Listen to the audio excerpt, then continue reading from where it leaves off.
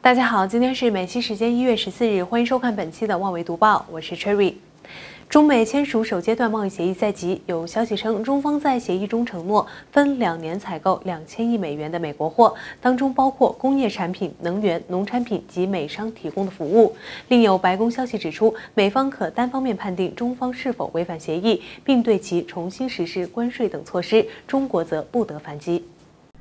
据南华早报与美国政治网站 Politico 的联合报道，中国将在一月十五日签订贸易协议中，会载明购买包括七百五十亿美元工业产品、五百亿美元的能源、四百亿美元农产品及价值三百五十亿至四百亿美元的美国服务。据报道，白宫国家贸易委员会主任纳瓦罗在近日受访时警告，协议包括一个非常有力的执行机制，即签署协议后，若莱特希泽收到有关中方违反承诺的投诉，他有九十天的时。时间处理。若他认为情况属实，美方有权采取相应措施，而中方承诺不予反击。纳瓦罗形容协议执行机制对比世界贸易组织的纷争解决制度是非常有利。纳瓦罗还指出，网络入侵、盗窃知识产权、强迫技术转移、倾销、国企不公平竞争、汇率操纵及出口芬太尼至美国是中国的七宗罪。签署首阶段协议后，可解决大部分问题。他称，华盛顿对中国强硬及实施关税是美。美国经济强大的原因之一。中美签署首阶段协议后，美国会维持对中国征收的关税。第二阶段协议的谈判亦会随即展开。美国之音发表评论文章称，来自中国和美国的经济学家们认为，第一阶段协议的签署只是暂缓了两国间的紧张局势，并不能解决很多根本性的问题。其中一些问题的演变甚至超出了决策者的初衷，很难再挽回。曾经担任国际货币基金组织中国部主管的普拉萨德指出。虽然双方都有很强的动力保持经济联系，但是双方的不信任将在很长的时间内对双方贸易和金融的流动产生负面影响。美国国务卿蓬佩奥一月十三日出席一个论坛时表示，美军清除伊朗军头苏莱曼尼是华府震慑伊朗的大战略一部分，又称震慑战略不仅适用于伊朗，中国及俄罗斯同样适用。蓬佩奥于论坛发表题为“恢复震慑伊朗的例子”的讲话，阐述川普政府对伊朗实施真正震慑的战略。他说：“美国退出伊朗核协议令德黑兰更大胆，清除伊朗军头是华盛顿大战略的一部分。”蓬佩奥认为，美国对伊朗实施制裁，打击对方经济，美国正处于上风。他指出，美方的震慑战略不限于伊朗。他称，美国恢复向乌克兰提供军援，对抗亲俄分离分子；美方退出美俄军控条约。针对中国，美军近年则加强于南海的活动，以及对华货征收额外关税，都是震慑战略之一。同日，蓬佩奥还发表了题为“技术与中国安全挑战”的演说。他呼吁美国公司在与中国做生意时，注意国家安全后果，不要牺牲美国的价值观。蓬佩奥对在座的美国科技产业领袖们称，在中共领导下，中国不认同自由市场经济，盗窃知识产权。他告诫美国高科技公司不要帮助中共扩展军力或者加强政治压制。蓬佩奥接着提出三个确保：确保美国的公司不做加强竞争军力或者加紧政权对其本国压制的生意；确保美国的技术不给一个真的是奥威尔式的监控之国助力；还要确保不会为了繁荣而牺牲美国原则。华为首席财务官孟晚舟的引渡听证会将于二零二零年一月二十日举行，将触及双重犯罪条件是否满足这一关键问题。有分析指出，如果法官站在孟晚舟一边，孟晚舟可能被释放。据路透社一月十四日报道，孟晚舟的引渡听证会将在 B.C 省最高法院开始举行。届时将探讨的问题是，美国以孟晚舟所犯罪行为要求引渡，而这是否在加拿大被视为罪行？倘若答案是肯定的，孟晚舟同时在加拿大和美国触犯法律，符合引渡所需的双重犯罪原则。据报道，加拿大联邦检察官在早前公布的一份法庭文件中称，孟晚舟的行为根据加拿大法律相当于欺诈，法院无需考虑美国制裁。法。孟晚舟的代表律师团队指出，孟晚舟应该获释，理由是美国要求引渡的理据是华为违反美国对伊朗的制裁，但这在加拿大不是罪行。律师们认为这不符合进行引渡所需的双重犯罪条件。英属哥伦比亚大学政治科学系教授 Ives 表示，最大的法律问题是双重犯罪的条件是否得到满足。分析称，如果法官站在孟晚舟一边，孟晚舟可能被释放，或者检方可能提出上诉。如果双重犯罪的论论点不，成立，听证会将在六月进入第二阶段。此外，BC 省最高法院一月十三日还宣布拒绝传媒直播孟晚舟聆讯内容的要求，理由是控辩双方均认为直播或会损害孟晚舟在引渡程序中的公平审判权利。由十三间传媒组成的联盟指出，孟晚舟涉及欺诈，这在加拿大及美国都属于犯罪，符合引渡所需的双重犯罪原则，故希望可以在法庭上拍摄法官就双重犯罪的裁决部分。广东省人民政府一月十四日发布年度广东省政府工作报告，预计二零一九年全省地区生产总值十点五万亿元人民币以上，同比增长百分之六点三左右。广东省成为中国首个 GDP 破十万亿元的省份。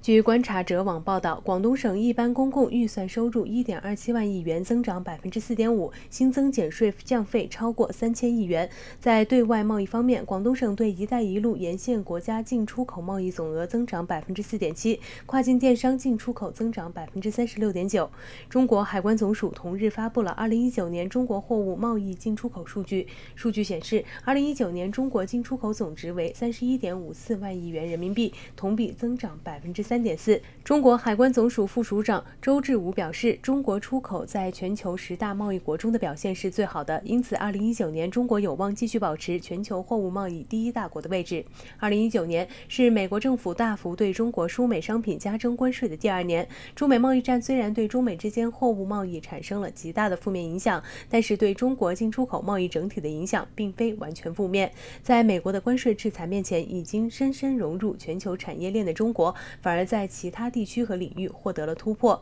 据分析称，主要原因有三：第一，中国与世界其他经济体的贸易关系日益紧密，贸易伙伴遍地开花，成为中国进出口持续增长的新动力；第二，中国民营企业首次超过外商投资企业，成为中国第一大外贸主体；第三，中美贸易战没有打乱中国进行产业升级的步伐，机电产品仍是中国出口产品的主力，高附加值产品出口增速继续提高。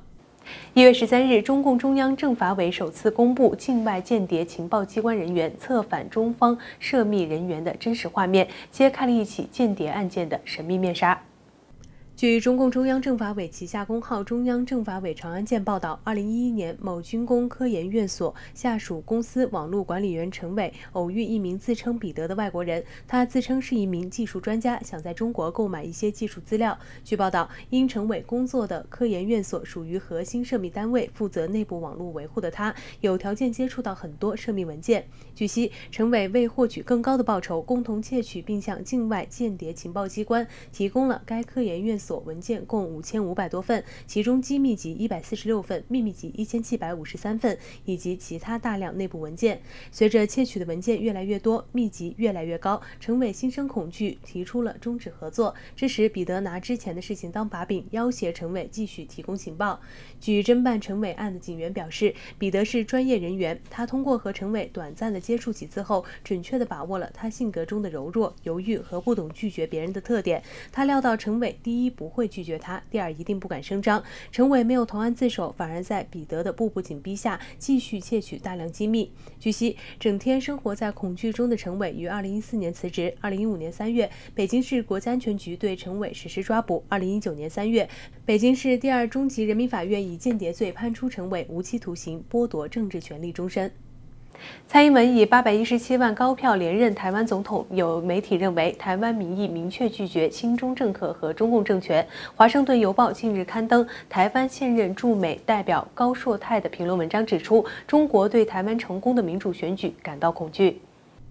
文章指出，北京把台湾活络起振奋人心的民主活动视为对中共政权合法性的威胁挑衅，尤其在中共于二零一八年取消国家领导人任期、打压香港民主运动之后，台湾选举意义重大，与中共专制与压迫形成鲜明对比。而中国也透过外交打压、假消息、商业渗透和经济控制，极力干预台湾政治。文章认为。台湾的民主成就，对那些被压迫的香港人、新疆维吾尔族、全中国地下基督徒而言，宛如一座希望灯塔。他强调，历史已证明，民主与专制不可能妥协，不可能共存。文章指出，珍爱自由的人永远不可能接受中国主张的一国两制。文章还指出，去年十一月，香港泛民在选举中取得压倒性胜利，台湾选民在大选投下支持维护主权的关键选票，是人民自由意志与决心的又一次证明。在庆贺民主胜利的同时，全世界。界应对中国进一步伤害民主与重塑世界秩序的野心有所察觉。文章呼吁，包括美国在内志同道合的国家